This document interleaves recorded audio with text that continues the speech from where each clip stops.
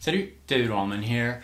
I just installed a new humbucker in my Parker guitar in the bridge, and I installed a Crunch Lab. The Crunch Lab is a humbucker designed by DiMarzio and John Petrucci from Dream Theater.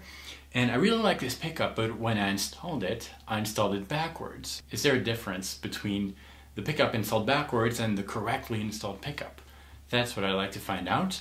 This video might be a little useless, but at the end of the video, we'll know. Doesn't matter, doesn't make a huge difference in the sound, and I thought we would try. Here's the pickup, and as you can see, it's installed backwards. Metal bar right there by the pickup is supposed to be by the neck, and right now it's by the bridge. Thankfully, when I installed this, I didn't cut the strings yet, so that's great. That's gonna help me. I'm just gonna untie the strings, open up the body of the guitar, and just switch the pickup. The soldering is already done. I don't have to deal with that anymore.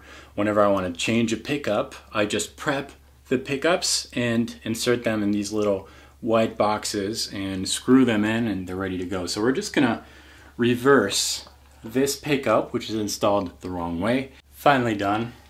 That's a pain. I, I hate doing that kind of stuff. You know those um, those spiral metal things that hold the screws?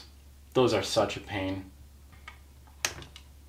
The pickup is in the right position now. I'm gonna record two tracks, one with the pickup installed backwards, and then we'll record the same thing, this time with the pickup installed in the correct position. Let's compare both.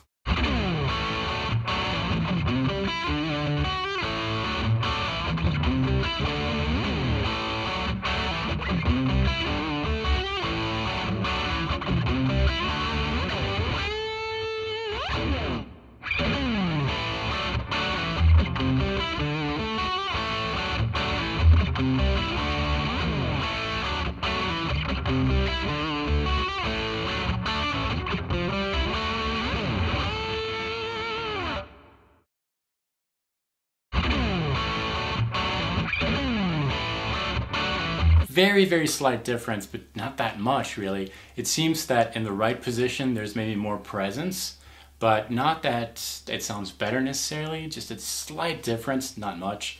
At least we know now. Um, love to know what you think about this.